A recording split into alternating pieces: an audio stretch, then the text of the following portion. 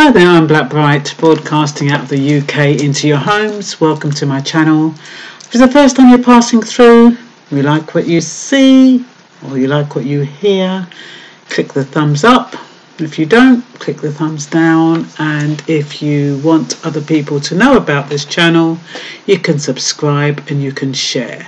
So, um, yes, yeah, so basically, I wanted to talk about this news release that came out today um, Robert Montague, he's the Minister of Mining and Transport, or Transport and Mining in Jamaica, and he's concerned because there's been 300 fatalities on the roads since the beginning of the month, since the beginning of the year, and thousands of casualties.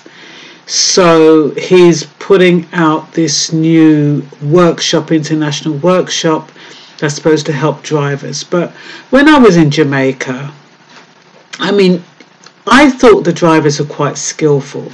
I think the problem is is that you have some massive articulated lorries on some narrow streets and if they're going fast, and then the roads are very wiry, and you know, like if you're going from Montego Bay to say Westmoreland, for example, or to Falmouth, or that kind of area, then the roads are quite narrow. And even though the roads have been renewed, unless you drive right against the edge, you can have a head on collision. And what sometimes happens, I mean, we even saw um, drivers, they try to overtake trucks or they take overtake cars and they really take a risk and they tend to do that on a bend. So while a lot of them are sensible and they do kind of wait until the road is quite clear ahead, you still I still saw quite a few who took a risk and managed just to swerve in just in time before a car's coming down. Thing is, we don't have 20 miles an hour and 30 miles an hour, yeah, in um, America, or not America, on the Jamaican roads. And on those narrow roads, they drive them like they're driving on the motorway, really. And so I can understand why there are so many casualties. Actually, I'm surprised there are not more.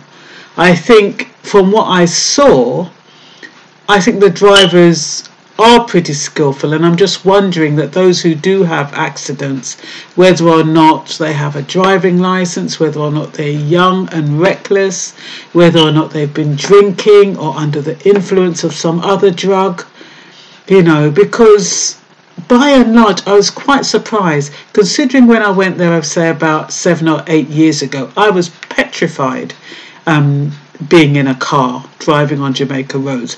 This time I wasn't petrified at all. I wasn't scared. And even though I saw the cars overtaking and going in and out, I wasn't frightened by the journey. So I and they've got lots of signs, you know, showing um, skeletons and you know just things that put you off and you don't want to race to death. Those kind of things. You want to reach to your destination alive. Don't drink and drive. You know, a lot of um, posters to deter people or to at least catch people so that they don't drive recklessly on the roads. So I just wanted to remind people just to take care when they're driving.